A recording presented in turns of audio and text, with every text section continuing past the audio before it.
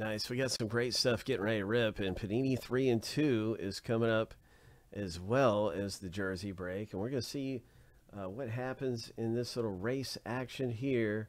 Get ready for a big hit popping out in three and two. This is a race, and the winner gets two spots in three and two baseball.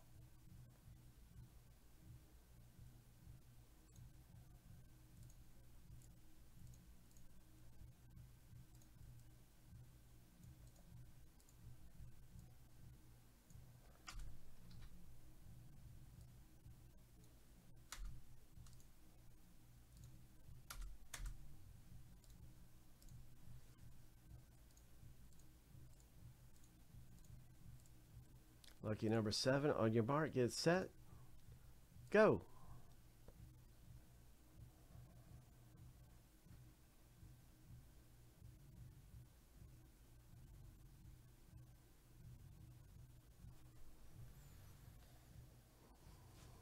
All right, Matt is leading this thing. In the green jersey, green hair. It's got to be lucky.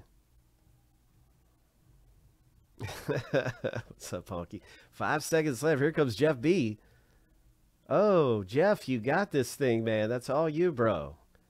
Nice. Number one jersey, first place. Boom. There it is.